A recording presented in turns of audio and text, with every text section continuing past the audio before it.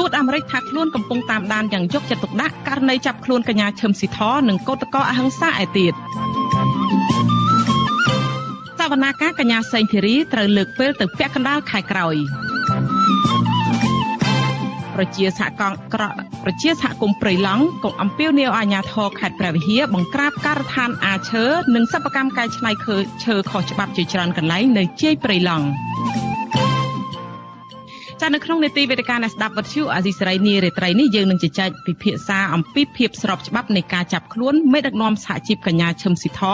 និងកោតកោឯទៀតរួមនឹងព័ត៌មានផ្សេងៗមួយចំនួនទៀត។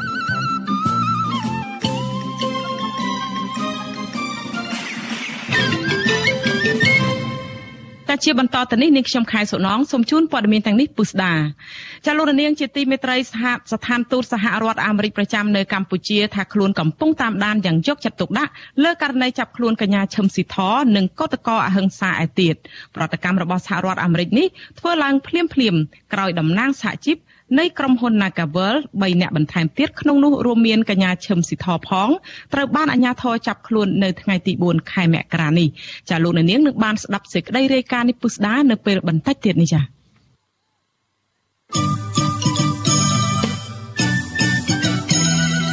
លោករនាងកញ្ញាជាទីមេត្រីចាតកតងទៅនឹងរឿងវិវាទការងារនៅក្រុមហ៊ុន Casino Nagavel នេះដែរដែលឈានទៅដល់ការចាប់ខ្លួនមេដឹកនាំសហជីពបន្ថែមទៀតនោះធ្វើឲ្យមានប្រតិកម្មជាពីជាច្រើនពីអង្គការនានារួមទាំងស្ថានទូតសហរដ្ឋអាមេរិកផងចាដោយដោយដោយដែលលោកនាងបានឃើញរូបភាពនៅក្នុងការផ្សាយនេះគឺជាសកម្មភាពដែលអាជ្ញាធរបានចោះទៅចាប់កញ្ញាឈឹមស៊ីធនៅឯកន្លែងជួបប្រជុំតវ៉ាចាំមានសំណួរជាច្រើនដែលបានចោទឡើងថាតើហេតុអ្វីបានជាអាជ្ញាធរពាក់ព័ន្ធមិនព្យាយាមដោះស្រាយវិវាទការងារដែលជាដើមចមនៃការជួបជុំហើយបែរជាប្រើចំណាត់ការចាប់ខ្លួនទៅវិញនោះ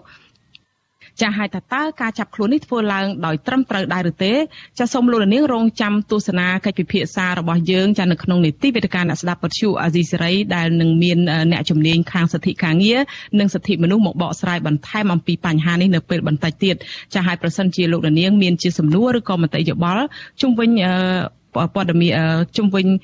បញ្ហានេះសូមលោកនាងដាក់លេខទូរស័ព្ទរបស់លោកអ្នកនៅក្នុងប្រអប់សារ Messenger Facebook អសីសេរីឬក៏នៅក្នុងខ្ទង់ comment របស់អសីសេរីចាក់ក្រុមការងាររបស់យើងនឹងហៅត្រឡប់ទៅលោកនាងវិញចាសសូមអរគុណ thank you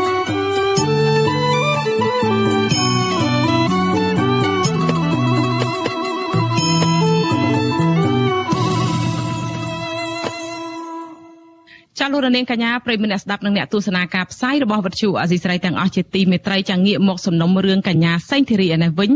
ចៅក្រមសាលាដំបងរាជធានីភ្នំពេញបន្ទោសជនជាប់ចោតកញ្ញាសេងធីរីថាជាអ្នកធ្វើឲ្យសវនាការបទញុះញង់និងរួមគំនិតក្បត់មានភាពយឺតយ៉ាវដែលធ្វើឲ្យប៉ះពាល់ដល់សិទ្ធិរបស់ជនជាប់ឃុំ3នាក់ក្នុងសំណុំរឿងនេះចាប៉ុន្តែកញ្ញាសេងធីរីនិងក្រុមអ្នកជាប់ឃុំប្រតិកម្មវិញថាតុលាការជាអ្នកបន្តឃុំខ្លួនពួកគាត់ដោយខុសនីតិវិធីខ្លួនឯងទើបធ្វើឲ្យប៉ះពាល់ដល់សិទ្ធិពួកគាត់ចាប់ពីរដ្ឋធានី Washington លោកទីនសាការីយ៉ារាយការណ៍អំពីរឿងនេះការបន្តសវនកម្មនៅថ្ងៃទី4មករាដើម្បីសួរដល់កញ្ញាសេងធារីជាលើកទី3ក្នុងបទញុះញង់និងរួមគំនិតក្បត់ពាក់ព័ន្ធនឹងផែនការប្រធានស្ដីទីគណៈបកប្រឆាំងលោកសំរងស៊ីវិលចូលស្រុកវិញកាលពីឆ្នាំ2019មិនទាន់បានអស់សេចក្តីនោះទេព្រោះកញ្ញាសេងធារីបានស្នើសុំឲ្យតុលាការបន្តការពន្យាពេលសវនកម្មជាបន្តទៀត ដែលហេតុថាកញ្ញានៅមិនទាន់ទទួលបានសំណុំរឿងឯកសារពាក់ព័ន្ធនឹងការចោទប្រកាន់លើកញ្ញានៅឡើយទេប្រធានក្រុមប្រឹក្សាជំនុំជម្រះលោករស់ពិសិដ្ឋបានយល់ព្រមនឹងសំណើដោយលើកពេលសវនាការនេះទៅបន្តនៅថ្ងៃទី15ខែកុម្ភៈប៉ុន្តែមុននឹងសម្រេចថាត្រូវពន្យាពេលសវនាការបន្តទៀតលោករស់ពិសិដ្ឋបាននិយាយទៅកាន់កញ្ញាសេងធារីថាតើកញ្ញាមានបានគិតដល់អ្នកជាប់ឃុំដែរឬទេព្រោះពួកគាត់ម្នាក់ម្នាក់ជាប់ឃុំក្នុងពន្ធនាគារជិត2ឆ្នាំមកហើយភ្លាមភ្លាមនោះជនជាប់ឃុំម្នាក់ក្នុងចំណោម3នាក់ គឺសមាជិកក្រុមប្រឹក្សាជាប់ឆ្នោតរាជធានីភ្នំពេញនៃគណៈបកសង្គ្រោះជាតិលោកកកកំភាបានលើកដៃនិងសុំសម្ដែងមតិថាលោកអរគុណចំពោះចៅក្រមនិងតុលាការដែលខំគិតគូរដល់អ្នកជាប់ឃុំប៉ុន្តែបើសិនជាតុលាការអាណិតពួកលោកមែនលោកសូមឲ្យតុលាការដោះលែងពួកលោកឲ្យនៅក្រៅឃុំមន្ត្រីបកប្រឆាំងរូបនេះប្រកាសថាតុលាការបានឃុំខ្លួនលោកបណ្ដោះអាសន្នហួសពេលកំណត់ច្បាប់និងធ្វើខុសនីតិវិធីច្បាប់រួចបាត់ទៅហើយសវនកម្មនៅថ្ងៃទី4មករានេះ មានការចូលរួមខ្លំមើលពីតំណាងអង្គការសហប្រជាជាតិប្រចាំនៅកម្ពុជាតំណាងស្ថានទូតនានានិងក្រុមអង្គការសិទ្ធិមនុស្សមួយចំនួនទៀតក្រោយចេញពីបន្ទប់សវនាការវិញក្នុងសម្លៀកបំពាក់ជាអ្នកជាប់ពន្ធនាគារឈុតពណ៌ស្លាទុំកញ្ញាសេងធារីបាននិយាយលាយឡំនឹងសំណើចប្រាប់ក្រុមអ្នកគាំទ្រនិងអ្នកសារព័ត៌មានថា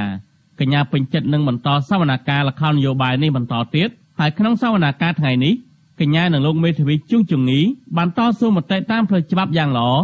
សម្រាប់ទុកឲ្យអង្គជំនុំជម្រះពិចារណាគឺការដោះលែងអ្នកជាប់ឃុំ3នាក់ក្នុងសំណុំរឿងនេះជាចន្ទានុសិទ្ធិរបស់ចៅក្រមសុបសាទអរគុណច្រើនលោកនីធីវីជំនីនៅក្នុងការសម្រួលនៅក្នុងការអះអាងល្អមែនទែននៅក្នុងការផ្ដល់មេរៀនមែនទែនឲ្យអង្គជំនុំជម្រះទាំងមូលលោកមេធាវីជួងជងីដែលទៅតែទទួលបានការពឹងពាក់ផ្នែកច្បាប់ពីកញ្ញាសេងធារីលើកឡើងថាការពន្យាពេលសវនាការមិនប៉ះពាល់ដល់សេរីភាពជនជាប់ឃុំនោះទេផ្ទុយទៅវិញ លោកជំរុញថាតឡាការគួរទៅដោះលែងជនជាប់ឃុំទាំងអស់នៅក្នុងសំណុំរឿងនេះហើយចាំក៏ហៅឲ្យចូលសវនាការតាមក្រោយលោកមេធាវីយល់ថាតឡាការមិនគួរខ្លាចជ្រុលពេកទេព្រោះថាជនជាប់ឃុំទាំងនោះ មិនអាចរត់តារួចផុតពីសមត្ថកិច្ចបានឡើយយកលេខថាយើងនិយាយពេលធ្វើឲ្យប៉ះពាល់ដល់សិទ្ធិរបស់ជនជាប់ឃុំប៉ុន្តែតឡាការមានឆន្ទៈនិស្សិតដោះលែងឲ្យនៅក្រៅឃុំជាបន្តសោះឲ្យដាក់លក្ខខណ្ឌគាត់ទៅដោយមានជនជាប់ឃុំខ្លះគាត់ទៅដល់ថៃសមត្ថកិច្ចទៅចាប់មកវាអញ្ចឹងគាត់រកដល់រួចហើយអញ្ចឹងអាចឲ្យគាត់នៅក្រៅឃុំទៅហើយផ្ដល់ពេលវេលាពេញលេខឲ្យជនតរិកាទៅមុនពេលឡើងសវនាការនេះកញ្ញាសេងធារីត្រូវបាននគរបាលសង្កាត់ចាត់ទៅមុខខណ្ឌដូនពេញបានខត់ខ្លួនកញ្ញាបញ្ជូនទៅប៉ុស្តិ៍នគរបាលរយៈពេលខ្លី ដោយចោទថាកញ្ញាបានស្លៀកសម្លៀកបំពាក់អ្នកជាប់ឃុំនិងមានខ្នោះជើងដើរតាមសួនសាធារណៈនៅម្ដុំវិមានអាយក្រិចក្បែរភូមិមង្គ្រឹងរបស់លោកនាយរដ្ឋមន្ត្រីហ៊ុនសែនកញ្ញាសេនធារីបញ្ជាក់ថាការស្លៀកសម្លៀកបំពាក់ប្លែកៗកន្លងមកនេះដើម្បីបង្ហាញថាកញ្ញាគឺជាតួអង្គមួយដែលត្រូវគេចាប់បង្ខំឲ្យចូលសម្ដែងល្ខោននយោបាយជាមួយតុលាការចំណែកការស្លៀកសម្លៀកបំពាក់ឈុតអ្នកជាប់ឃុំនិងការដាក់ខ្នោះជើងខ្លួនឯងនេះគឺកញ្ញាចង់បង្ហាញការរួមស្មារតីនិងចង់លើកទឹកចិត្តដល់អ្នកជាប់ឃុំផ្នែកនយោបាយ និងសិទ្ធិសេរីភាពទាំងអស់ថាពួកគាត់មិនអាចកោតទេកញ្ញាបញ្ជាក់ថាឈុតពណ៌ស្វាទុំនិងខ្នោះជើងនេះក៏ចង់បង្ហាញប្រាប់ថាបរដ្ឋបច្ចុប្បន្នកំពុងតែរស់នៅក្នុងពុទ្ធនេគាមួយដែលគ្មានចិញ្ចៀងដូចគ្នាទាំងអស់ចំណែកឯក្រុមអ្នកគាំទ្រកញ្ញាសេនស៊ូរីដែលរងចាំមើលពីខាងក្រៅរបស់តុលាការឯនេះវិញនៅតែបន្តទាមទារឲ្យតុលាការបញ្ឈប់ការចោទប្រកាន់តាមបែបសម្ដែងល្ខោន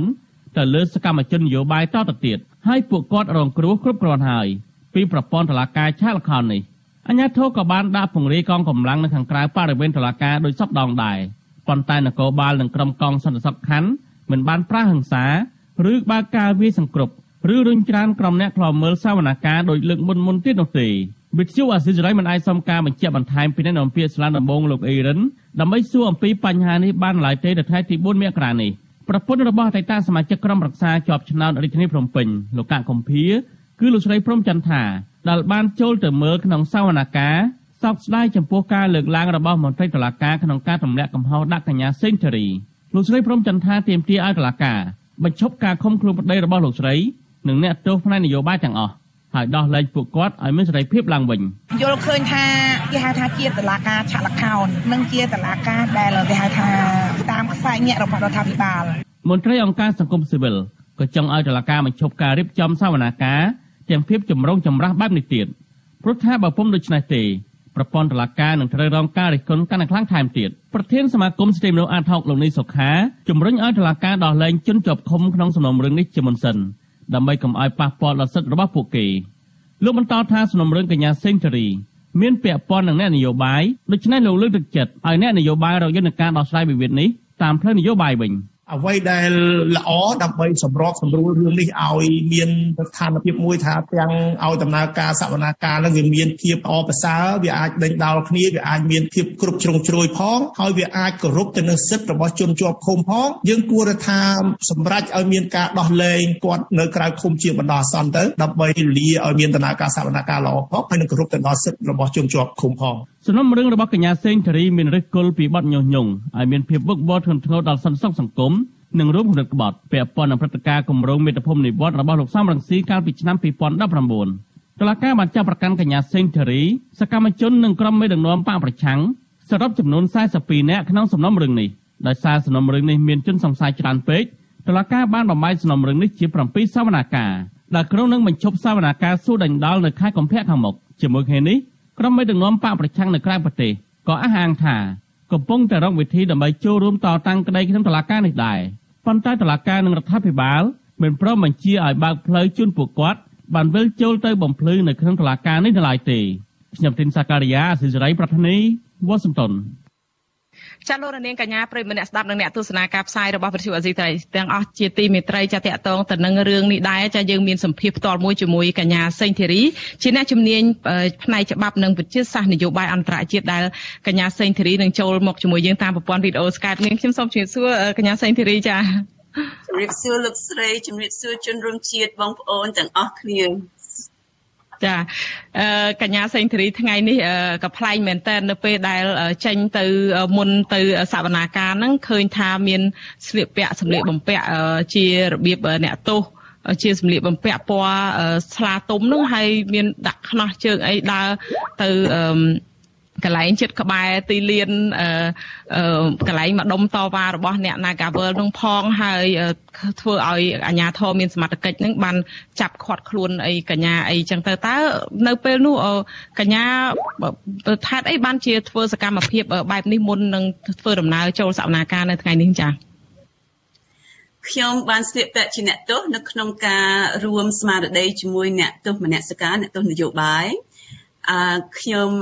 ចង់ដើរពី Naga World ទៅតឡាការក្រុងភ្នំពេញមកពី Naga World ឥឡូវកំពុងមានបញ្ហាខ្ញុំចង់ទាញបណ្ដាញសាធារណជនពិសេសផ្នែកអន្តរជាតិឲ្យគាត់ជួយពិនិត្យមើលខុសត្រូវសកម្មភាពនៅ Naga World ចំពោះកម្មករដែលកំពុងតវ៉ាដោយសន្តិវិធីហើយកំពុងមានការវាយដំកំពុងមានការ ឃុំខ្លួនខ្ញុំចង់រួមស្មារតីជាមួយពួកគាត់ដែរតាមបណ្ដាញដែលខ្ញុំមានហើយខ្ញុំពាក់អឺខ្នោះអឺនេះហើយពាក់ឈុតអ្នកទោសជាប់ឃុំមកពីខ្ញុំទីមួយចង់ត្រៀមខ្លួនហើយចង់ឲ្យអឺ ផ្នត់កំណត់ខ្ញុំស៊ាំនៅក្នុងការជាប់គុកប្រសិនបើខ្ញុំត្រូវការជាប់គុកមានន័យថាខ្ញុំកំពុងរៀបចំស្មារតីខ្ញុំហើយជានិមិត្តរូបនៅក្នុងការរួមកំណត់ជាមួយអ្នកទស្សនសិកាផងហើយចង់បង្ហាញថាប្រទេសកម្ពុជាទាំងមូលឥឡូវកំពុងคล้ายដោយរបបខ្មែរក្រហមម្ដងទៀតហើយមានន័យថាប្រទេសទាំងមូលជាដូចដូចជាគុកដែលអត់មានជញ្ជាំងដោយរបបខ្មែរក្រហមអញ្ចឹង ហើយនេះជាខ្នោះជាក់ស្ដែងដែលខ្ញុំបានស្រង់ពីបឹងរៃនៅស្វាយរៀងដែលខ្ញុំបានជាប់ពន្ធនាគារជាកុមារក្រោមរបបខ្មែរក្រហម បានចឹងនេះជានិមិត្តរូបនៅក្នុងការរួមគំនិតជាមួយអ្នកទម្នាក់សកាទីតាំង Naga World ពីព្រោះរឿងនេះជារឿងយុទ្ធធម៌យើងវាវាតេចាពួកគាត់ខាងកម្មករពួកខ្ញុំខាងការតស៊ូមតិវារឿងយុទ្ធធម៌តែមួយឯងបើយើងបូកសរុបសភាពការទៅ មកសរុបទៅខ្ញុំចង់ដាស់តឿនស្មារតីសាធារណជន ពិសេសបណ្ដាញអន្តរជាតិដែលខ្ញុំមានពួកម៉ាកមានឥទ្ធិពលនៅក្នុងការជួយពិនិត្យជះពន្លឺមកកម្ពុជា ចាកញ្ញាសេងធារីចំណុចដូចដែលកញ្ញាបានលើកឡើងអំពីការជួបជុំរបស់ក្រុមហ៊ុនរបស់ក្រុមកោតកោ Nagavel នេះកញ្ញាបែបបានដឹងព័ត៌មានហើយយល់យ៉ាងម៉េចដែរថ្ងៃនេះដែលអាជ្ញាធរចាប់ខ្លួនកញ្ញាឈឹមស៊ីធរួមទាំងសារការីរបស់គាត់ពីអ្នកបន្ថែមទៀតនោះសរុបទាំងអស់មកដល់ពេលនេះវា23អ្នកហើយហើយចោតប្រកាន់នឹងពីបទញុះញង់បង្កឲ្យមានភាពវឹកវរធ្ងន់ធ្ងរដោយបទចោតកញ្ញាសេងធារីដែរតើយល់យ៉ាងម៉េចដែរចំពោះរឿងនេះចាដែលគាត់ទៅតវ៉ារឿងវិវាទការងារនឹងចាហើយមានការឈានដល់ការចាប់ខ្លួនចា៎គឺការឆ្លោះបង្ហាញម្ដងទៀតអំពីភាពភ័យខ្លាចរបស់របបផ្ដាច់ការនេះដែលដឹងថាខ្លួនឯងខុសបាទអញ្ចឹងពេលយើងដឹងខ្លួនយើងខុសយើងមានភាពភ័យខ្លាចយើងមានតែពួកគាត់មិនយើងមានន័យថារបបផ្ដាច់ការនេះឆ្លើយតបតាមរបៀបដែលគាត់ស្គាល់ហើយគាត់មានស្និទ្ធស្នៀតតែមួយនឹងឯងអំពើហិង្សាហើយឃុំខ្លួនហើយភាពភូតផលអត់មានស្អីប្លែកទេប៉ុន្តែអ្វីដែលប្លែកអឺ ឥឡូវច្រើនតែស្ត្រីលើកមុនយើងដឹងថាស្ត្រីខ្មែរយើងក្លាហានប៉ុន្តែឥឡូវសឹងតែ90%ដែលនាំមុខនៅក្នុងការតវ៉ាតស៊ូមតិឈរជួរមុខគេតែម្ដងបានចឹងហើយនៅក្នុងពេលវេលានេះដែលឆ្នាំ2022នេះ ពួកគាត់វេឆ្លាតនៅក្នុងការឆ្លៀតឱកាសពីព្រោះយើងមានពេលវេលានេះពិសេសមែនតែនពីព្រោះរបបផ្ដាច់ការនេះគេកំពុងធ្វើដោយគេសំរុំណាស់ហើយគេចង់ឲ្យមេដឹកនាំពិភពលោកមកចាប់ដៃជាមួយគេចង់បានរូបភាពប៉ុន្តែនេះជាឱកាសរបស់យើងដែរនៅក្នុងការដាស់តឿនអារម្មណ៍សាធារណជនពិសេសបណ្ដាញអន្តរជាតិដែលអាចចេះ ឥទ្ធិពលមកកម្ពុជាបើអញ្ចឹងខ្ញុំសូមទៅសើអអត់អត់មានអ្វីភ្ញាក់ផ្អើលទេពីព្រោះនេះជារឿងដែលដែលចេញពីរបបផ្ដាច់ការដែលភ័យខ្លាចដែលខ្លាចពិសេសស្ត្រីស្លូតត្រង់ប្រជាជនស្លៀតស្លូតត្រង់ប៉ុន្តែឥឡូវយើងឃើញស្ត្រីវ័យក្មេងៗដែលក្លាហានអង់អាចចេញមកនាំក្នុងការអនុវត្តសិទ្ធិរបស់គាត់តាមនីតិវិធីតាមភាពត្រឹមត្រូវ ហើយវាបង្ហាញរូបភាពម្ដងទៀតអំពីការធ្លាក់ចុះនៃរបបផ្លាច់ផ្ដាច់ការនេះនិងភាពភ័យខ្លាចរបស់ពួកគាត់ចំពោះពួកយើងដែលជាជនស្លូតត្រង់ កញ្ញាសេងធារីងាកមករឿងសំណុំរឿងរបស់កញ្ញាវិញដោយលោកនាងបានដឹងហើយថាតុលាការបានសម្រេចថានឹងលើកពេលសវនាការនឹងទៅម្ដងទៀតនៅខែក្រោយថ្ងៃទី15អីចឹងតើនេះតាមខ្ញុំដឹងគឺកញ្ញាខ្លួនឯងទេដែលជាអ្នកស្នើសុំឲ្យមានការពន្យាពេលតែ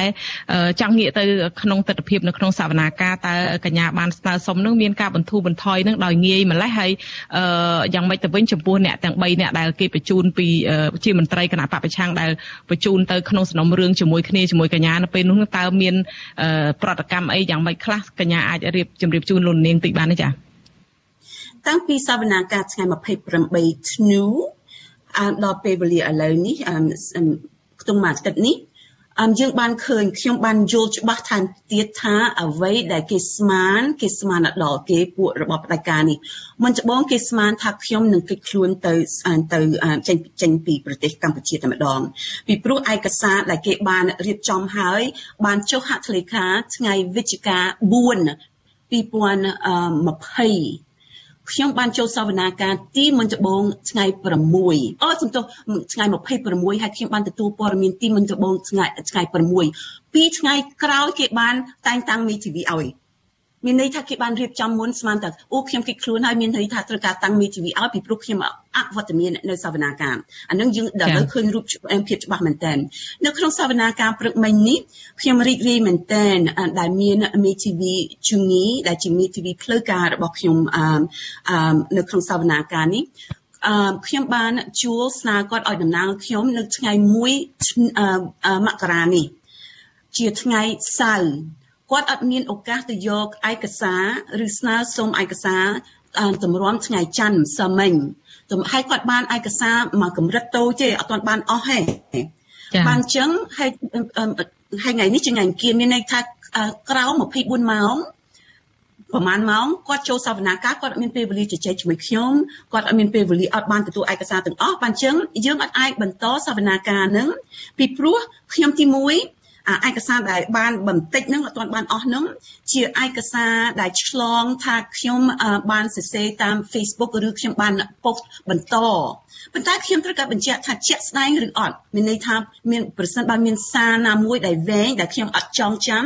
ទីមួយខ្ញុំត្រូវការសួរក្រុមហ៊ុន Facebook ថាសារនឹងរបស់ខ្ញុំជាក់ស្ដែងឬអត់ឬមានការកែប្រែយើងដឹងហើយបច្ចេកទេសឥឡូវងាយស្រួលកែប្រែមើលទៅដូចធម្មជាតិដូចជាក់ស្ដែងអញ្ចឹងប៉ុន្តែប្រសិនបើយើងអត់មានជំនាញយើងមិនមែនក្រុមហ៊ុននៅក្នុងការគ្រប់គ្រងនឹងយើងមើលអត់ដឹងទេបាទអញ្ចឹងនេះមិនមែនតេតិនដល់ពេលវេលាខ្ញុំទេតេតិនដល់ពេលវេលាការឆ្លើយតបពី Facebook ប្រសិនបើខ្ញុំ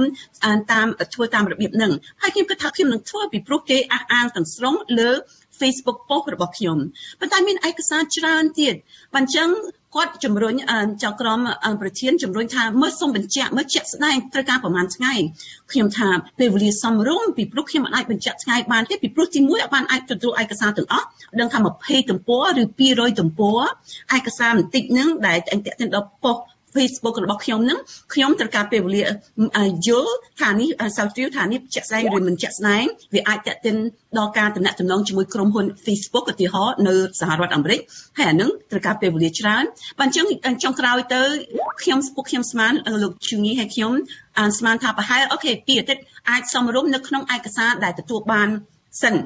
បើមានច្រើនទៀតហើយយើងត្រូវការសួរអែមស្នើសុំពេលវេលាថែមទៀតតាមភាពសមរម្យអានឹងយើងទុកពេលវេលាក្រោយ ចុងក្រោយចៅក្រមប្រធានអូគាត់សុបរោះមែនតើគាត់ឲ្យខ្ញុំដល់6អាទិត្យចាអឺអញ្ចឹងមានន័យថាកញ្ញាសេងធារីយល់ថា6អាទិត្យជាពេលវេលាដ៏សមរម្យអញ្ចឹងឲ្យឲ្យច្រើនចាចុះចំណែកអ្នកទាំង3អ្នកដែលជាមន្ត្រីសកម្មជនមន្ត្រីគណៈបពប្រឆាំងមានលោកកកុម្ភាលោកទុំប៊ុនថននេះនឹងតើយ៉ាងម៉េចទៅវិញទៅគាត់មានបានវែកញែកអីរឿងគាត់ខ្លះទេឬក៏គាត់គ្រាន់តែបានគេឡើងយកគាត់ចូលទៅក្នុងសវនាការនឹងចា ព្រឹកមិញទាំងស្រុងយើងបានជជែកត្រឹមតែពេលវេលាគួរឲ្យខ្ញុំឬមិនឲ្យខ្ញុំនៅក្នុងការបញ្ជាពេលអឺអត់មានចូលសាច់រឿងលើអង្គច្បាប់ទីមុនដំបូងអត់មានអង្គច្បាប់អីដែលតេតិនជាក់ស្ដែងលើពួកខ្ញុំពីព្រោះនេះជារឿងខ្លាំងខ្លាយទី2អត់មានអង្គហេតុដែលលើកឡើងហើយបើលើកឡើងក៏រឿងខ្លាំងខ្លាយអត់មានចូលសាច់រឿងទេនិយាយត្រឹមតែពេលវេលាប៉ុន្តែពួកគាត់3នាក់គាត់ ស្ម័គ្រចិត្តដល់ខ្លួនឯងលើកដៃដោយខ្ញុំពីមុនមកហើយខ្ញុំម្ដងម្ដងពេលចង់មាននេះអីគាត់ខ្ញុំលើកដៃពួកគាត់ម្ដងម្នាក់ម្ដងម្នាក់លើកដៃថាពួកគាត់អត់មានបញ្ហាអំពីការស្នើរបស់ខ្ញុំពីព្រោះនេះជាសិទ្ធិនីតិវិធីត្រឹមត្រូវហើយវាសមសមហេតុសមផលហើយគាត់បានលើកឡើងថាពិសេសលោកកកម្ភាគាត់ថាគាត់បានជាប់ឃុំឃាំងហួសពេលវេលា បានរំលោភនីតិវិធីរបស់គាត់ហើយឥឡូវគាត់បានឃុំឃាំងដល់19 ខែមួយឆ្នាំកន្លះជាងហើយគាត់ថាគាត់តែប្រហែលថ្ងៃឬប្រហែលអាទិត្យទៀតហ្នឹងអត់គាត់ឥឡូវវាស៊ាំវាវានេះហើយវារំលោភលើគាត់ច្រើនពេកទៅវាអត់ជប់មានន័យហើយកញ្ញាសេងធីរីចំណុចនេះចាចំណុចនេះចៅក្រមបានលើកឡើងថា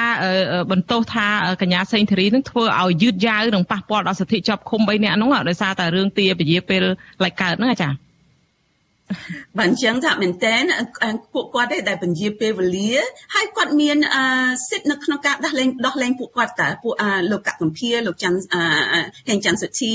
លោកអ៊ុំបន្ថនអចាបើអញ្ចឹងអត់មានបញ្ហានៅក្នុងនេះបើអញ្ចឹងគាត់ចេះតែរយល់លេសពួកគាត់មានន័យថា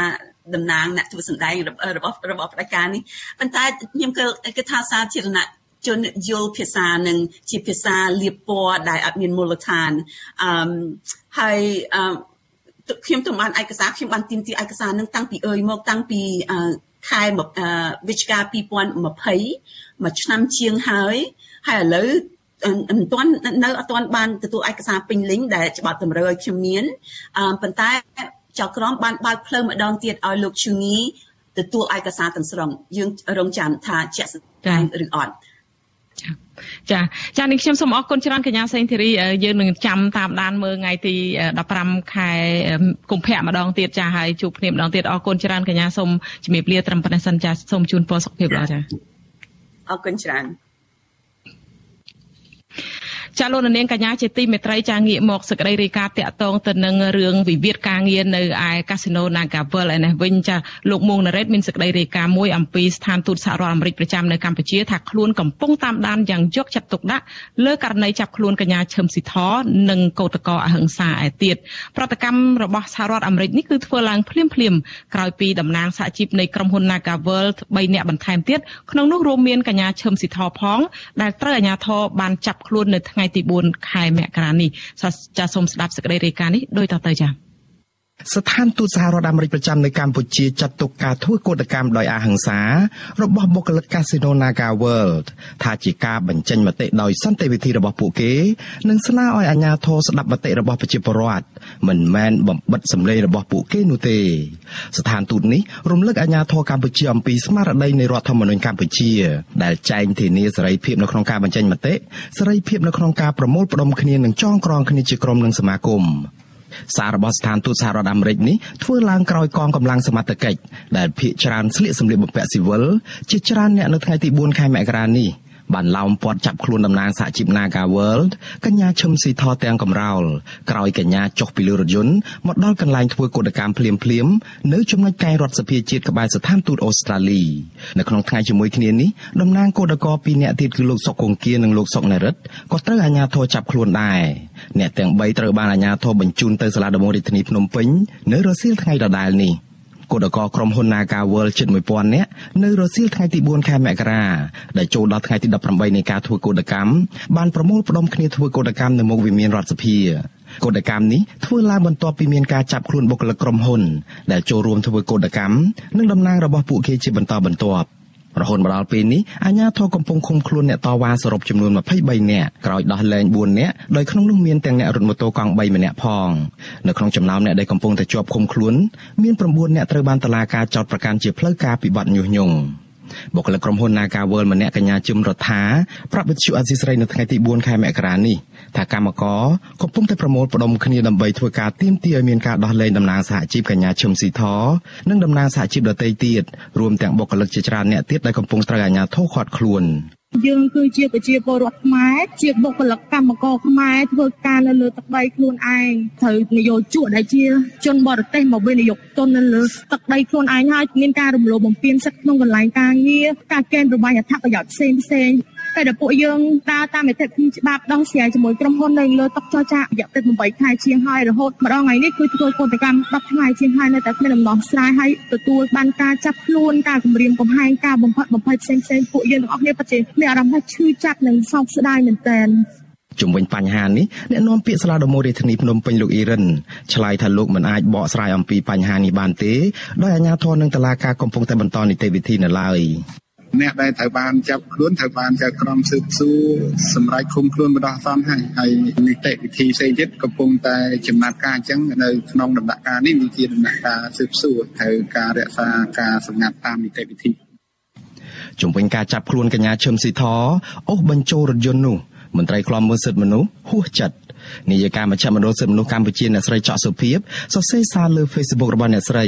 អមដោយរូបភាពវីដេអូនៃការប្រតាយប្រតាប់គ្នាពេលអាជ្ញាធរចាប់អូសកញ្ញាឈឹមស៊ីធញាត់ចូលរថយន្តនោះដោយភ្ជាប់ជាមួយនឹងសំណួរថាតើនេះគឺជាសង្គមអ្វីដែលអាជ្ញាធរមកចាប់ស្ត្រីវ័យក្មេងដោយហិង្សាក្រៀកកគ្នាហើយញាត់ចូលឡានទាំងប្រញាប់ប្រញាល់គ្មានដោយការត្រឹមត្រូវបែបនេះ។ អ្នកស្រីបន្ថែមថាកញ្ញាឈឹមស៊ីធត្រូវកម្លាំងសមត្ថកិច្ចមៀតធំទាំងស៊ីវិលនិងឯកសន្តាន បានចាប់ក្រៀកកដៃនិងខ្លួននាងពេញទំហឹងស្ទើរតែនាងដកដង្ហើមមិនរួចស្រ័យក៏មិនបានកម្មករខ្លះបានរត់មកជួយនាងប្រទៀនប្រទង់ខ្លាំងដូចសមុទ្រគោទឹកដោះដែលទាញមកខាងម្នាក់អ្នកស្រីថាអាញាធមមិនគួរប្រើកម្លាំងទាំងកំរោលដូចចាប់ជនអក្រិតធ្ងន់ធ្ងរនោះឡើយអ្នកស្រីបន្តទៀតថាអ្នកស្រីមានសេចក្តីសង្វេគដែលបានឃើញរូបភាពដ៏ព្រៃផ្សាយបែបនេះ ហើយនេះឬជាអ្វីដែលយើងតែងតែនិយាយថាសង្គមខ្មែរជាឋានសួគ៌នៃសិទ្ធិមនុស្សនិងសិទ្ធិស្ត្រីត្រូវបានគោរពការពារនោះប្រធានសមាគមការពារសិទ្ធិមនុស្សអាត់ហុកឯនោះវិញគឺលោកនីសុខាលោកយល់ថាការធ្វើកតកម្មរបស់បុគ្គលិកក្រុមហ៊ុន Nagawal នេះគឺជាសិទ្ធិសេរីភាពដែលត្រូវបានធានាដោយរដ្ឋធម្មនុញ្ញនិងច្បាប់ការងារចំណាត់ការរបស់អាជ្ញាធរនេះគឺជារូបភាពមួយដែលកំពុងតែរំលោភទៅលើគោលការណ៍ច្បាប់រំលោភទៅលើគោលការណ៍នៃសេរីភាពរំលោភទៅលើគោលការណ៍ប្រជាធិបតេយ្យហើយនៅក្នុងសង្គមប្រជាធិបតេយ្យ អាញាធរមិនត្រូវប្រើប្រាស់វិធានការក្នុងការទៅរដ្ឋបတ်សេរីភាពទាមទារតវ៉ាដោយអហិង្សារបស់ប្រជាពលរដ្ឋទេបើទោះបីថាអាញាធរតែតែលោកលើកឡើងថាការធ្វើនឹងប៉ះពាល់ដល់សម្ដាប់ធ្នាប់សាធារណៈដល់អីក៏ដោយក៏ប៉ុន្តែយើងដឹងថាអាញាធរខ្លួនឯងនឹងគឺជាអ្នករៀបចំសម្ដាប់ធ្នាប់សាធារណៈដូច្នេះអាញាធរជាអ្នកទទួលខុសត្រូវក្នុងការធ្វើឲ្យមានសម្ដាប់ធ្នាប់សាធារណៈផង ធានាឲ្យមានការប្រើប្រាស់សិទ្ធិសេរីភាពស្របច្បាប់របស់ប្រជាពលរដ្ឋផង ចំណែកឯគណៈបកនយោបាយឯនោះវិញគណៈបកប្រជាធិបតេយ្យមូលដ្ឋាននៅថ្ងៃនេះបានចេញសេចក្តីថ្លែងការណ៍ថ្កោលទោសចំពោះទង្វើអាញាធរដែលរារាំងនិងប្រើកម្លាំងបង្ក្រាបការប្រមូលផ្ដុំតាក់ទងទៅនឹងវិវាទការងារនេះគណៈបកដែលមានលោកបដិតកែមលីជាស្ថាបនិកពីដំបូងនេះជំរុញឲ្យរដ្ឋាភិបាលកម្ពុជាបញ្ឈប់ការយកប្រព័ន្ធតុលាការក្នុងការធ្វើទុកបុកម្នេញលើក្រុមអ្នកតវ៉ាដោយសន្តិវិធីហើយត្រូវដោះលែងគឧតកោទាំងអស់មកវិញ។ បើទោះបីជាអាជ្ញាធរបន្តចាប់ខ្លួនកូដកោនិងតំណាងរបស់ពួកគេជាបន្តបន្ទាប់យ៉ាងណាក្តីក៏ក្រុមកូដកោនៅតែបន្តបដិញ្ញាថានឹងតស៊ូមតិដោយអហិង្សាតទៅទៀតដោយមិនរាថយនោះឡើយរហូតដល់មានការដោះលែងគ្នាពួកគាត់មកវិញនិងមានដំណោះស្រាយសមស្របតាមការទាមទារទាំង9ចំណុចរបស់ពួកគាត់កញ្ញាឈឹមស៊ីធដឹងច្បាស់ថាកញ្ញានឹងត្រូវគេចាប់ខ្លួននៅថ្ងៃនេះ។ កញ្ញាប្រាប់វិទ្យុអាស៊ីសេរីនៅយប់មុនថ្ងៃចាប់ខ្លួនថាកញ្ញានឹងនៅតែបង្ហាញមុខចូលរួមតវ៉ាដើម្បីសិទ្ធិកម្មករទោះជាប្រឈមការចាប់ខ្លួននេះក្តីកញ្ញាប្រមានថាការចាប់ខ្លួនអ្នកតវ៉ានិងតំណាងពួកគាត់គឺមិនមែនជាដំណោះស្រាយទេក៏ប៉ុន្តែវារឹតតែបញ្ឆេះកំហឹងកូដកោនៅថ្ងៃចាប់ខ្លួនកញ្ញាឈឹមស៊ីធនោះគឧតកោនាំគ្នាសរសេរសារតាម Facebook ថាចាប់កញ្ញាឈឹមស៊ីធម្នាក់នៅមានកញ្ញាឈឹមស៊ីធ2000នាក់ទៀត។ នៅក្នុងថ្ងៃទី4ខែមករាដែរក្រុមអង្គការសង្គមស៊ីវិលសហភាពសហជីពសហព័ន្ធសហជីពនិងសមាគម119ស្ថាប័នបានចេញសេចក្តីថ្លែងការណ៍រួមគ្នាបង្ហាញការខកចិត្តជាខ្លាំងចំពោះវិធានការរបស់សមាជិកដែលដឹកនាំដោយស្នងការនគរបាលរាជធានីភ្នំពេញដែលបានខាត់ខ្លួនថ្នាក់ដឹកនាំសហជីពប្រតិភូចរចា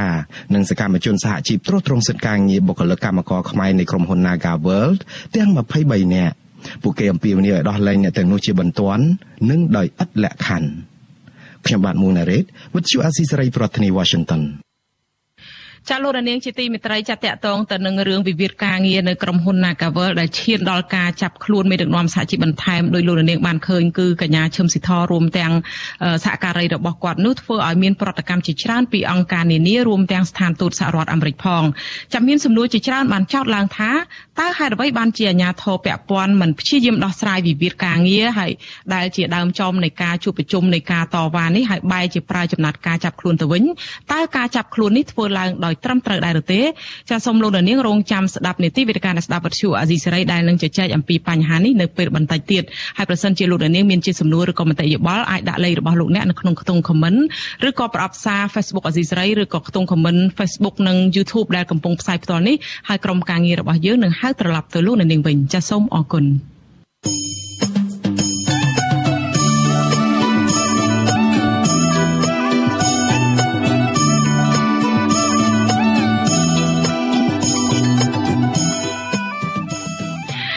លោកនាងកញ្ញាជាទីមេត្រីចាក្រៅពីលោកនាងទស្សនាការផ្សាយរបស់យើងតាមបណ្ដាញសង្គម Facebook និង YouTube នោះលោកអ្នកអាចស្ដាប់ការផ្សាយផ្ទាល់របស់វិទ្យុអាស៊ីសេរីតាមរយៈរលកធាតុអាកាសខ្លីឬ Shortwave តាមកម្រិតនិងកម្ពស់ដូចតទៅនេះពេលព្រឹកចាប់ពីម៉ោង5កន្លះដល់ម៉ោង6កន្លះតាមរយៈរលកធាតុអាកាសខ្លី9390 kHz ស្មើនឹងកម្ពស់ 32m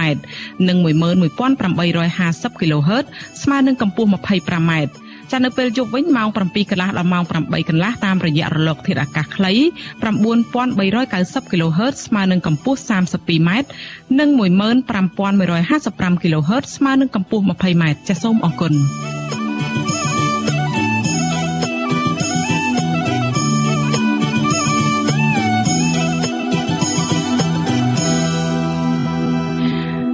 នាងកញ្ញាជាទីមេត្រីចាក់តាក់តងទៅនឹងស្ថានភាពនៃការរីករាលដាលជំងឺ Covid-19 វិញអ្នកជំងឺ Covid-19 ម្នាក់ទៀតបានស្លាប់ដោយក្រសួងសុខាភិបាលបញ្ជាក់ថាគាត់បានចាក់វ៉ាក់សាំងបង្ការជំងឺ Covid-19 រួចហើយចំណែកករណីឆ្លងថ្មីវិញក្រសួងឲ្យដឹងថាមានចំនួន10នាក់ដែលសុទ្ធតែជាករណីនាំចូលពីក្រៅប្រទេសនិងជាប្រភេទមេរោគបំផ្លែងថ្មីឈ្មោះអូមីក្រុងទាំងអស់ចាក់គិតត្រឹមព្រឹកថ្ងៃទី4ខែមករានេះកម្ពុជាមានអ្នកកើតជំងឺ Covid-19 ជាង120,000 100,000នាក់ក្នុងនោះមានអ្នកជាសះស្បើយជាង110,000នាក់និងអ្នកស្លាប់មានចំនួន3015នាក់ចំពោះការចាក់វ៉ាក់សាំងវិញក្រសួងសុខាភិបាលបានដឹងថាគិតត្រឹមថ្ងៃទី3ខែមករារដ្ឋាភិបាលចាក់វ៉ាក់សាំងជូនពលរដ្ឋដែលមានអាយុពី5ឆ្នាំឡើងទៅបានជាង14លាន2សែននាក់សម្រាប់ដូសទី1ខណៈដូសទី2ចាក់បានជាង13លាន6សែននាក់និងដូសទី3បានជាង3លាន6សែននាក់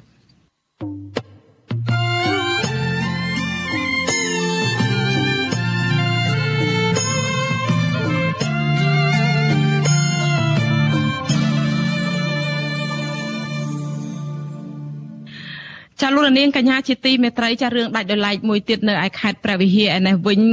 ជនជាតិដើមភាគតិចគួយរាប់រយគ្រួសារនៅក្នុងខេត្តនេះដែលមានវិវាទដីធ្លីជាមួយក្រុមហ៊ុនស្កអំពើចិនហេងពូបានបង្ខំចិត្តឲ្យកូនកូនរបស់ពួកគាត់ឈប់រៀនដើម្បីដើរស៊ីឈ្នួលរកប្រាក់ចំណូលចិញ្ចឹមគ្រួសារមូលហេតុដែលអ្នកភូមិទាំងនោះសម្រេចចិត្តឲ្យកូនកូនរបស់ពួកគាត់ឈប់រៀននោះគឺដោយសារតែពួកគាត់ប្រឈមបញ្ហាជីវភាពខ្វះខាតមិនអាចមានលទ្ធភាពបង្កបង្កើនផលដាំដុះផលដំណាំលើដីដែលក្រុមហ៊ុនចិនបានរំលោភយកកន្លងមកស្របពេលដែលអាជ្ញាធរនិងក្រុមហ៊ុននៅតែបញ្ជួលនៅតែជួលដីទាំងអស់នោះឲ្យពលរដ្ឋចំណាក់ជាបន្តបន្ទាប់ទៀតនោះហើយសូមអញ្ជើញលោកនាងស្ដាប់សេចក្តីរាយការណ៍របស់លោកមានរិទ្ធអំពីរឿងនេះដូចតទៅចា៎ជនជាតិដើមភាគតិចគួយរស់នៅស្រុកចំនួន3គឺស្រុកត្បាញមានជ័យស្រុកជ័យសែននិងស្រុកឆែបអស់សង្ឃឹមនឹងអាជ្ញាធរនិងរដ្ឋាភិបាល ដែលមិនព្រមដោះស្រាយបញ្ហាវិវាទដីធ្លីជូនពួកគាត់ឲ្យទទួលបានយុត្តិធម៌នោះទេ ពួកគាត់ត្រូវបង្ខំចិត្តឲ្យកូនកូនឈប់រៀនដើម្បីស៊ីឈ្នួលគេយកប្រាក់កម្រៃសម្រាប់ផ្គត់ផ្គង់ជីវភាពប្រចាំថ្ងៃអ្នកភូមិសោកស្ដាយដែលក្រុមហ៊ុននិងអាជ្ញាធរនៅតែបន្តហួងហែងនៅលើដីមានចំនួនទាំងនោះរួចជួលឲ្យពលរដ្ឋចំណាក់ស្រុករាប់ម៉ឺនគ្រួសារបើទោះបីជាក្រុមហ៊ុនចិនបានផ្អាកសង្វាក់ផលិតកម្មជាង3ឆ្នាំហើយក៏ដោយក្តីជនជាតិដើមភាគតិចគួយម្នាក់រស់នៅភូមិគោកឃុំស្អាងស្រុកជ័យសែនលោកស្រីព្រំញេប ប្រាប់វិសុវស៊ីស្រីនៅថ្ងៃទី4ខែមករាថាគ្រួសារលោកស្រីមានជីវភាពកាន់តែដុនដាបព្រោះតែគ្មានដីស្រែសម្រាប់បង្កបង្កើនផលនោះទេ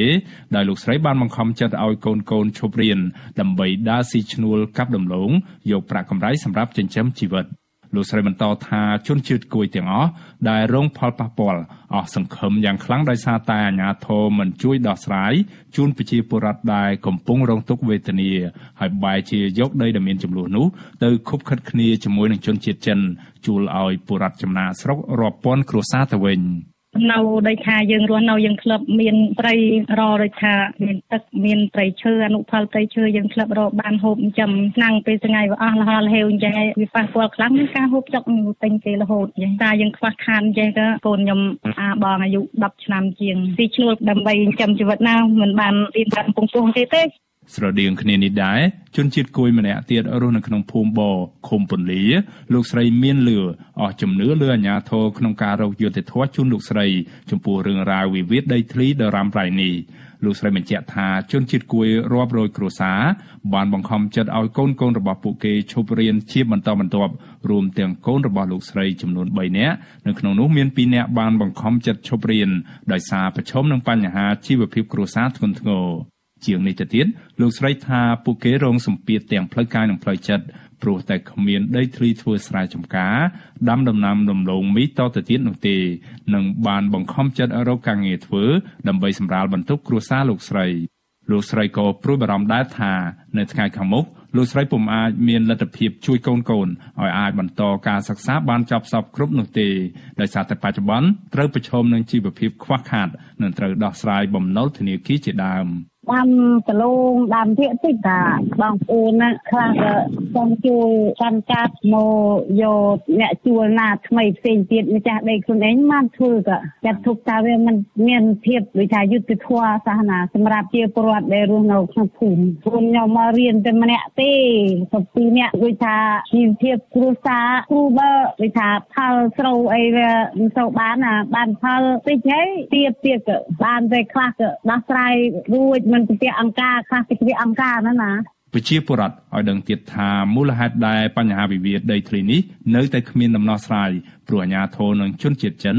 បានយកដីកំពុងមានចំនួនទាំងនោះទៅជួលឲ្យពលរដ្ឋដទៃទៀតជាបន្តបន្ទាប់ពលរដ្ឋដែលមកជួលដីមានចំនួនទាំងនោះបញ្ជាក់ថាជនជាតិចិន បានចាត់តាំងមេការចំនួន4នាក់ដើម្បីវាស់ដីនៅតំបន់ក្រុមហ៊ុន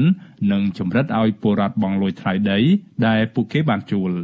ជាងនេះទៅទៀតនៅក្នុងសារសម្លេងបាច់ធ្លីមួយ អ្នកស្រីច័ន្ទយូរី ដែលមានប្តីជាជនជាតិចិនឈ្មោះឡុងបានអះអាងថាខ្លួនបានគ្រប់គ្រងដីមួយចំនួនធំនៅក្នុងតំបន់ដីរបស់ក្រុមហ៊ុនចិន ដែលមានការអនុញ្ញាតពីក្រុមហ៊ុននិងអាជ្ញាធររួចមកហើយពូយ៉ាតឯងមានទៅជួដីជាមួយអាឡោះនៅការដ្ឋានទី9ទីទី10ទី5ហ៎ពូយ៉ាតឯងកុំកុំទៅធ្វើមួយវាអាដីនឹងបានមកខ្ញុំហីបានមកខ្ញុំទី5ទី9ទី10 ហើយទី8និងទី4ពូមេងណាទី7អវ័យពូយ៉ាតឯងមានការអីអាចតាក់ទងមកខ្ញុំបានណាពូលេខនៅនឹងសួរខ្ញុំមកច្បាស់កុំអាលទៅធ្វើនាំប្រឆាំងគ្នាអីណាព្រោះអីវាអត់មានអ្នកណាសម្រេចឲ្យវាគ្រប់គ្រងការដ្ឋានណាមួយទេពួកខ្ញុំខ្ញុំបានសិទ្ធពីអភិបាលស្រុកហើយនឹងក្រុមហ៊ុនមកឲ្យពូណាវិសុវអសីស្រីបានសុំការបំភ្លឺជុំវិញរឿងនេះពីអ្នកនាំពាក្យសាលាខេត្តព្រះវិហារ លោកយងកំហឿងនិងអ្នកនាំពាក្យក្រសួងកសិកម្មលោកស្រីវុធីនៅថ្ងៃទី4ខែមករាក៏ប៉ុន្តែទូរស័ព្ទហៅចូលតែគ្មានអ្នកទទួល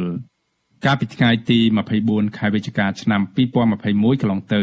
រដ្ឋលេខាធិការក្រសួងកសិកម្មរុក្ខាប្រមាញ់និងនេសាទលោកអ៊ុងសំអាតនិងអភិបាលស្រុកឆែបលោកអ៊ុំសុភឿន បានចេញសេចក្តីប្រកាសមួយស្តីពីការហាមឃាត់ប្រជាសហគមន៍ជនជាតិភាគតិចគួយមិនឲ្យឈូសឆាយភ្ជួរដីធ្វើដំណាំកសិកម្មនៅតំបន់ក្រុមហ៊ុនស្ករអំពើចិនដោយគ្មានការអនុញ្ញាតនោះទេលើពីនេះទៀតលោកអ៊ុំសុភឿនក៏បានអះអាងថាមន្ត្រីថ្នាក់ស្រុងនីមួយៗនិងមន្ត្រីជាមេខ្លោងឆោបបោកប្រជាពលរដ្ឋដែលធ្វើកិច្ចសន្យាជួលដីនៅលើដីរបស់ក្រុមហ៊ុននឹងត្រូវទទួលខុសត្រូវនៅចំពោះមុខច្បាប់ ជុំវិញរឿងនេះនាយកប្រតិបត្តិអង្គការបន្លកខ្មែរលោកពឹកសុភ័ណ្ឌសោកស្ដាយចំពោះអាញាធរដែលគ្មានភាពច្បាស់លាស់នៅក្នុងការស្វែងរកដំណោះស្រាយជូនប្រជាពលរដ្ឋប្រកបដោយដំណាភាពដែលធ្វើឲ្យពួកគេកាន់តែជួបនៅទុក្ខលំបាកបញ្ហាប្រឈមជីវភាពគ្រួសារជាបន្តបន្ទាប់លោកសង្កេតឃើញថាវិវាទដីធ្លីដែលបានអូសបន្លាយពេលដ៏រ៉ាំរ៉ៃនេះកើតមានឡើងដោយសារតែទំនាស់ផលប្រយោជន៍របស់អាជ្ញាធរជាមួយក្រុមហ៊ុនចិនកាន់កាប់ដីនៅតំបន់នោះជួលឲ្យពលរដ្ឋរាប់ពាន់គ្រួសារ គេបានគ្រប់គ្រងសហការជាមួយនឹងបុគ្គលិកចិនក្រុមហ៊ុនដើម្បីដើរគេយកដីនឹងទៅវិនិយោគទៅអភិវឌ្ឍអីផ្សេងឬក៏គេជួលឲ្យតំណែងផ្សេងអីណាអាញាធរគឺគេមានវិធានការបែបហ្នឹងទៅវិញអាញាធរស្រុកខេត្តនឹងបានចេញលិខិតហាមឃាត់មិនឲ្យសហគមន៍អីធ្វើដីស្រែចម្ការនៅលើតំបន់ហ្នឹងទៀតផងអាហ្នឹងវាឃើញថាវាជារឿងមួយគេហៅថាយន្តការអត់មានតម្លាភាពមិនដឹងថាដំណោះស្រាយតម្រូវការដល់ប្រជាពលរដ្ឋហ្នឹងវាយ៉ាងដូចម្ដេចទេណាក្រុមហ៊ុនសម្បទានសេដ្ឋកិច្ចហេងហ្វូទទួលបានសិទ្ធិវិនិយោគពីរដ្ឋាភិបាល លើផ្ទៃដីទំហំជាង40000ហិកតា ចាប់តាំងពីឆ្នាំ2011មក ដើម្បីវិនិយោគដាំអំពៅនិងកៅស៊ូក្រុមហ៊ុននេះជាក្រុមហ៊ុនមេនិងមានបុតសម្ព័ន្ធក្រុមហ៊ុនចំនួន5ទៀត ការវិនិយោគរបស់ក្រុមហ៊ុននេះធ្វើឲ្យប៉ះពាល់ដល់ជនជាតិដើមភាគតិចប្រមាណ2000គ្រួសារដែលមានប្រជាពលរដ្ឋប្រមាណ10000នាក់ស្ថិតនៅក្នុងភូមិចំនួន25ឃុំចំនួន10និងស្រុកចំនួន3គឺស្រុកជ័យសែនស្រុកឆែបនិងស្រុកត្បែងមានជ័យវេទិកានៃអង្គការមិនមែនរដ្ឋាភិបាលស្ដីពីកម្ពុជា និងអង្គការដៃគូមួយចំនួនទៀតបានរកឃើញថាក្រុមហ៊ុនបានឈូសឆាយប៉ះពាល់ដល់ដីស្រែប្រជាពលរដ្ឋបានឈូសឆាយលុបប្រភពទឹក ដែលជាផ្លូវទឹកធម្មជាតិសម្បូរដោយមច្ឆជាតិនិងបានឈូសឆាយទៅលើដីទួលប្រាសាទបុរាណ4កន្លែងនិងស្ថានីយ៍បុរាណផ្សេងៗទៀតរបាយការណ៍របស់អង្គការ Liga do កាលពីខែមីនាឆ្នាំ2020បង្ហាញថាកម្ពុជាបានផ្ដល់ដីសម្បត្តិសេដ្ឋកិច្ចសរុបជិត300កន្លែងទៅឲ្យក្រុមហ៊ុនឯកជនគ្រប់គ្រងស្មើនឹងទំហំជាង2លាន1សែនហិកតា នៅក្នុងនោះក្រុមហ៊ុនរបស់ចិនទទួលបានចំណាយគ្រប់គ្រងដីនៅកម្ពុជាច្រើនជាងគេ ស្មើនឹងជិត4សែនហិកតាឬស្មើនឹងជិត5ដងនៃផ្ទៃដីប្រទេសសង្ហបុរីបច្ចុប្បន្នខ្ញុំបានមេរិត Visual C ស្រីរាយការណ៍ពីរដ្ឋធានី Washington ចាលោករនាងកញ្ញាជាទីមេត្រីចាប់ប្រជាសហគមន៍ព្រៃឡង់អំពាវនាវអាជ្ញាធរខេត្តព្រះវិហារបង្ក្រាបការដ្ឋានអាឈើនិងសិប្បកម្មកែច្នៃឈើខុសច្បាប់ជាច្រើនកន្លែងនៅជាយព្រៃឡង់ក្នុងស្រុករវៀងនៃខេត្តព្រះវិហារដែលកំពុងប្រមូលទិញឈើដឹកចេញពីដែនជម្រកសត្វព្រៃឡង់សហគមន៍ចាត់ទុកបញ្ហានេះថាជាមូលហេតុអាក្រក់ធ្វើឲ្យព្រៃឡង់វិនិច្ឆ័យហិនហោចចាលោករនាងនឹងបានស្ដាប់សេចក្តីរាយការណ៍នេះពឹស្ដានៅព្រឹកស្អែកពីម៉ោង5កន្លះដល់ម៉ោង6កន្លះ ចាលោកនាងកញ្ញាជាទីមេត្រីចាតព័ត៌មានប្រចាំថ្ងៃដែលជម្រាបជូនដល់នាងខ្ញុំខែសុណងនៅពេលនេះចាប់តែប៉ុណ្ណេះសូមអញ្ជើញលោកនាងរងចាំស្ដាប់នេតិវេទិកាអ្នកស្ដាប់ពទ្យុអាស៊ីសេរីនៅពេលបន្តិចទៀតនេះ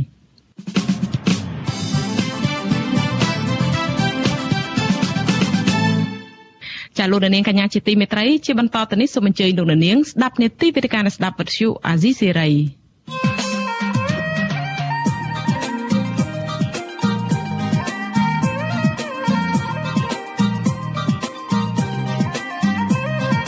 វេទិកាអ្នកស្ដាប់វិទ្យុអាស៊ីសេរី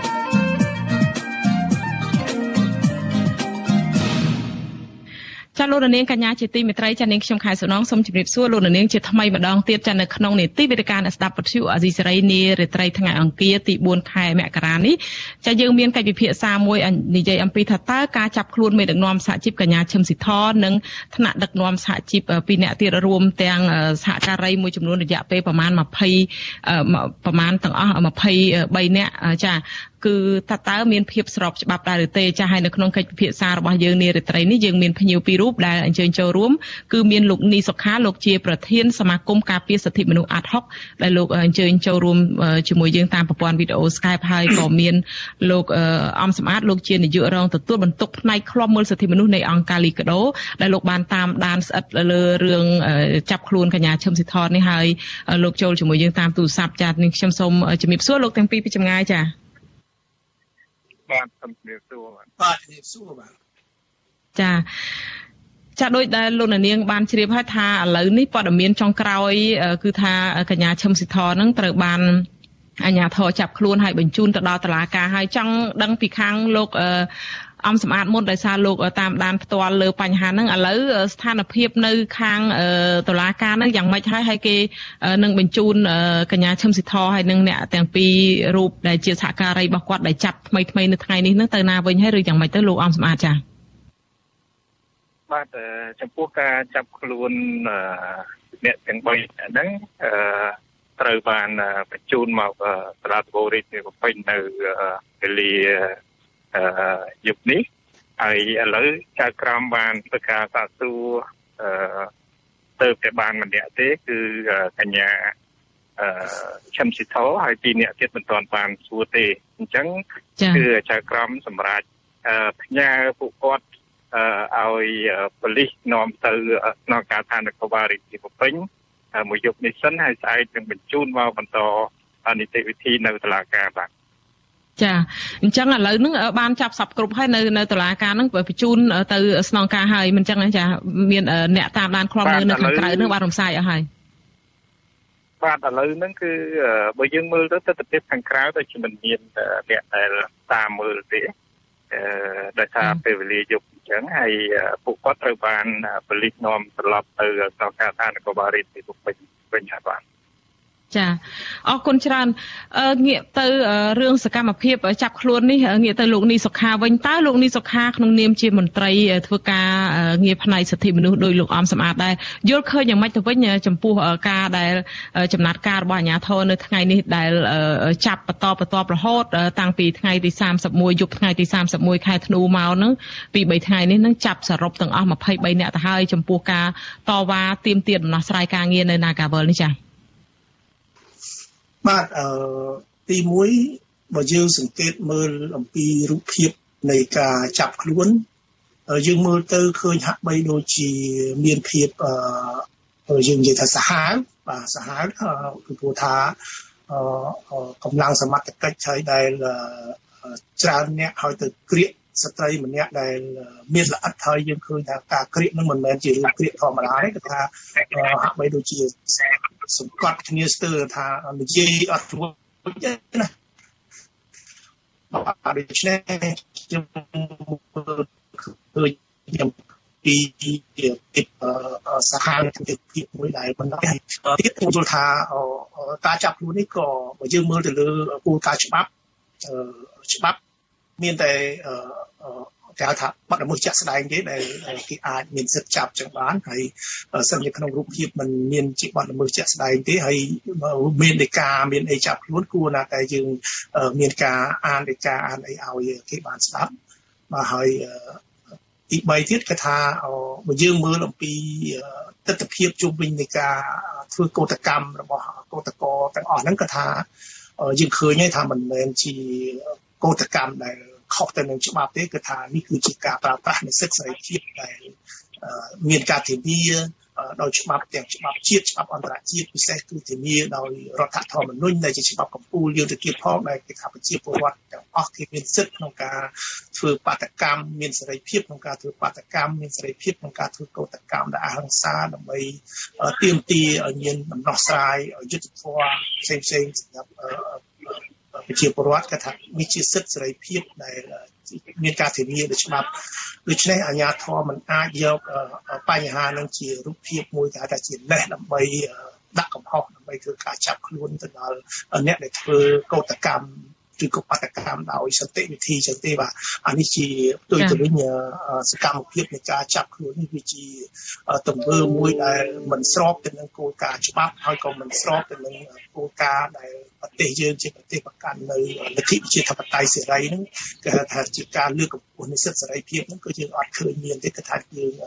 សកម្មភាពធ្វើនេះគឺ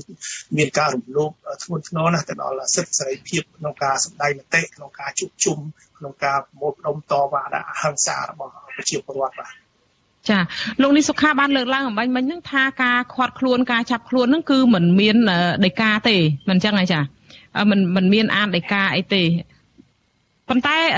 អាចថាខាងយើងដឹងហើយថាពីពីព្រឹកមុនចាប់ខ្លួននឹងខាងស្នងការរាជធានីភ្នំពេញរួមទាំងព្រះអញ្ញាលោកសេងហៀងនឹងបានធ្វើសន្និសីទសារព័ត៌មានមួយគឺប្រកាសឲ្យថាឥឡូវសមត្ថកិច្ចត្រូវការស្វែងរកចាប់ខ្លួន ចោតអ្នកទាំង3ហ្នឹងដោយប្រើពាក្យថាជាមេខ្លោងនៃការតវ៉ាអីពីបទញុះញង់បង្កឲ្យមានភាពបកបោធ្ងន់ធ្ងរដល់សន្តិសុខសង្គមហ្នឹងហើយគេប្រកាសអញ្ចឹងតែម្ដងថានឹងចូលមកត្រូវតែចាប់ខ្លួនអីអញ្ចឹងទៅតើអាចថាប៉ុណ្ណឹងអាចជំនួសអ្វីដែលនៅពេលដែលចាប់ផ្ទាល់ហ្នឹងមិនបាច់ចាំត្រូវការអានដីកាទេឬក៏យ៉ាងម៉េចទៅវិញចាជានីតិវិធីចា បាទខ្ញុំសូមជម្រាបថាមិញខ្ញុំមិនលើកថាមិនមានដីកាទេព្រោះមានដីកាឬក៏គ្មានដីកាខ្ញុំមិនបានដឹងទេណាព្រោះរឿងនេះដោយសារតែគ្រាន់តែឃើញមានមានលិខិតមួយទាក់ទងទៅនឹងសេចក្តីប្រកាសរបស់អ្នកនាំពាក្យសាលាដំបងថាមានបញ្ជីចាប់ខ្លួនអញ្ចឹងប៉ុន្តែយើងក៏មិនទាន់មានឃើញដីកាចាប់ខ្លួនទេប៉ុន្តែគាត់ថាបើសិនជាសមត្ថកិច្ចមានដីកាចាប់ខ្លួនមែនសមត្ថកិច្ច ក៏ត្រូវតែអានដីកាឲ្យគេដែរដើម្បីឲ្យគេដឹងថាតើគេមានកំហុសអីនៅអំពីបញ្ហាសិទ្ធិរបស់គេដែលគេត្រូវដឹងអំពីកំហុសរបស់របស់គេប៉ុន្តែការចូលទៅចាប់នេះខ្ញុំយើងឃើញរូបភាពទាំងអស់គ្នាហាក់បីដូចជាចាប់ទាំងកំរោលមានន័យថាការចាប់ខ្លួននេះគឺចាប់ទាំងកំរោលតែម្ដងដោយ មានន័យថាมันมันបានគោរពទៅដល់គោលការណ៍នៃសិទ្ធិមនុស្សទេបាទយើងមើលឃើញតកតទៅនឹងហើយគាត់ពួកគាត់សិតតែជាបរិសុទ្ធទៀតហើយចូលទៅចាប់គ្រាកស្ត្រីម្នាក់ដែលមានមានប៉ុណ្ណឹងហើយនេះវាជារឿងមួយដែលយើងមើលឃើញជារូបភាពទេប៉ុន្តែរឿងទី2ខ្ញុំគិតថាអ្វីដែលជាការលើកឡើងខ្ញុំបានស្ដាប់ដែរនៅក្នុងក្រុមសារនៃការធ្វើសន្និសីទកសែតនេះហាក់បីដូចជាមានការចោទប្រកាន់ធ្ងន់ធ្ងរណាស់ទៅលើក្រុម កោតកោដែលមានតំណែងតំណងផ្សេងផ្សេងដែលមានការឧបត្ថម្ភផ្សេងផ្សេងខ្ញុំគិតថារឿងនេះមិនមែនទើបតែកើតមានទេហើយក៏មិនមែនជារឿងថ្មីសម្រាប់អាជ្ញាធរជាប់ប្រកាន់ទៅកម្ពុជាដែលចោតប្រកាន់ទៅលើក្រមអង្គការសង្គមស៊ីវិលមុនមុនក៏ដូចជាក្រមអ្នកដែលតវ៉ាក្រោយក្រោយទៀតគេថាឲ្យតែមានរូបភាពតវ៉ាឲ្យតែមានរូបភាពមិនស្របគេថាប្រឆាំងទៅនឹងរដ្ឋាភិបាលមិនមិនមិនមានន័យថាដំណើរការធ្វើស្របជាមួយរដ្ឋាភិបាលអាជ្ញាធរតែងតែលើកហេតុផលដើម្បីទម្លាក់កំហុសមកលើទាំងអង្គការសង្គមស៊ីវិលក្តីទាំងលើសកម្មជនសិទ្ធិមនុស្សក្តីទាំងលើឥ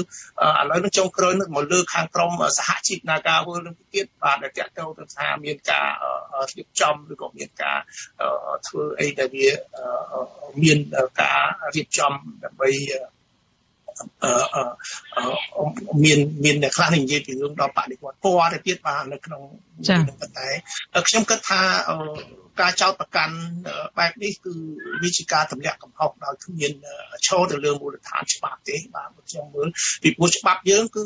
សេរីភាពនៅក្នុងការធ្វើបាតកម្មកោតកម្មដោយសន្តិវិធីដូចខ្ញុំជម្រាបជូនខាងដើមថាជាសិទ្ធិស្របច្បាប់មិនមែនជាទង្វើខុសច្បាប់ទេដូច្នេះបើសិនជាយើង ទៅចាប់ខ្លួនឬក៏យើងទៅទម្លាក់កំហុសចំពោះសកម្មភាពដែលជាទង្វើស្របច្បាប់ខ្ញុំថាអ្នកដែលទៅចាប់ខ្លួនអ្នកដែលទៅអ្នកដែលចោទប្រកាន់ទម្លាក់កំហុសទៅលើអ្នកដែលធ្វើសកម្មភាពស្របច្បាប់គឺជាអ្នកខុសច្បាប់ទៅវិញទេបើយើងនិយាយមែនតើពីព្រោះថាសកម្មភាពដែលគេធ្វើនោះគឺជាសកម្មភាពមួយដែលធ្វើឡើងដោយ មានមានធានាដោយច្បាប់ហើយដល់ពេលយើងយើងទៅប្រមូលគ្នាចោតប្រកាន់ថារឿងហ្នឹងជារឿងខុសច្បាប់តែខ្ញុំមិនយល់ដែរថាតើសមត្ថកិច្ចកម្ពុជាយើងបច្ចុប្បន្នហ្នឹងកំពុងតែអនុវត្ត គោលគោលនយោបាយប្រជាធិបតេយ្យសង្គមប្រជាធិបតេយ្យឬក៏កំពុងតែអនុវត្តនៅគោលការណ៍ក្នុងសង្គមមួយដែលផ្ដាច់ការបាទបើសិនជាយើងអនុវត្តនៅគោលការណ៍ប្រជាធិបតេយ្យយើងគួរតែងាកទៅមើលរដ្ឋធម្មនុញ្ញយើងគួរតែងាកទៅមើលស្មារតីនៃគោលការណ៍ប្រជាធិបតេយ្យគោលការណ៍សិទ្ធិមនុស្សយើងគួរតែងាកទៅមើលខ្លឹមសារដែលធានាដោយរដ្ឋធម្មនុញ្ញដែលយើង វល់ត្រូវតែពពលនេះគោរពនោះគេថារដ្ឋធម្មនុញ្ញកម្ពុជាដែលនិយាយអំពីប្រទេសកម្ពុជាជាប្រទេសប្រកាន់លទ្ធិប្រជាធិបតេយ្យសេរីពហុបកប្រជាពលរដ្ឋមានសិទ្ធិសេរីភាពក្នុងការសម្ដែងមតិក្នុងការតវ៉ាក្នុងការទាមទារណាការសម្ដែងមតិការតវ៉ាទាមទារទាំងឡាយរបស់ប្រជាពលរដ្ឋណាកង្វល់ទាំងឡាយរបស់ប្រជាពលរដ្ឋត្រូវតែបានយកចិត្តទុកដាក់ដោះស្រាយមកចត់ពីសំណាក់អង្គការរដ្ឋដែលយើងទៅមើលខ្លឹមសារនៃរដ្ឋធម្មនុញ្ញណាប៉ុន្តែរឿងនេះយើងការទៀមទាការតវ៉ា អាជ្ញាធររដ្ឋបែរជាមិនខិតខំយកចិត្តទុកដាក់ដោះស្រាយឲ្យបានម៉ត់ចត់បែរជាទៅទម្លាក់កំហុសលើគ្នាដូច្នេះយើងឃើញថានេះធ្វើឲ្យពួកពួកអ្នកដែលកម្មករដែលគាត់តវ៉ានោះគាត់មានការឈឺចាប់ហ្នឹងបាទពីព្រោះថាអ្វីដែលអយុត្តិធម៌ក្នុងការតវ៉ារឿងបញ្ហាវិវាទការងារមិនបានសម្រេចហើយបែរជាអាជ្ញាធរលោកមិនបាន ជួយលើកទឹកចិត្តឬក៏ជួយជ្រោមជ្រែងក្នុងការដោះស្រាយបញ្ហាហ្នឹងឬក៏ជួយសម្របសម្រួលធ្វើម៉េចឲ្យមានដំណោះស្រាយមួយឲ្យមានយុត្តិធម៌បែរជាអាជ្ញាធរទៅទម្លាក់កំហុសលើពួកគាត់ហើយទៅចាប់ខ្លួនពួកគាត់ហើយទៅចោទប្រកាន់ពួកគាត់នៅក្នុងបទល្មើសផ្សេងផ្សេងទៅវិញនេះគឺជារឿងអយុត្តិធម៌ ណាបាទនៅក្នុងសង្គមយើងដែលយើងថាជាសង្គមប្រកាន់ប្រជាធិបតេយ្យយើងមិនគួរមានរឿងចឹងកើតឡើងទេបាទនេះបើយើងមើលទៅរូបភាពនេះមិនមែនជារូបភាពនៅក្នុងប្រទេសដែលប្រកាន់លទ្ធិប្រជាធិបតេយ្យសេរីទេបាទ ចាអរគុណច្រើនលោកនីសខាលោកបានរំលឹកអ្វីដែលថាមានការលើកឡើងនៅក្នុងសន្និសីទសារព័ត៌មានរបស់អាជ្ញាធររបស់តុលាការនឹងថាមានពាក់ព័ន្ធនឹងរឿងសង្គមស៊ីវិលដែលឧបត្ថម្ភគ្រប់គ្រងនោះតិចទៀតខ្ញុំនឹងសួរដែរអំពីបញ្ហានឹងចាំយើងជជែកបន្ថែមទៀតហើយលើចំណុចថាការទៀមទាដោះស្រាយវិវាទការងារសោះតែបែរជាមិនមិនមិនដោះស្រាយរឿងវិវាទការងារហើយមានចំណាត់ការលើការចាប់ខ្លួនអីផ្សេងទៅវិញយើងក៏នឹងជជែកបន្ថែមដែរប៉ុន្តែសម្រាប់លោកនាងដែលកំពុងតែទស្សនាការផ្សាយរបស់យើងតាមរយៈរលកធាតុអាកាសខ្លីឬ short wave នាងខ្ញុំសូមលាលោកនាងសិន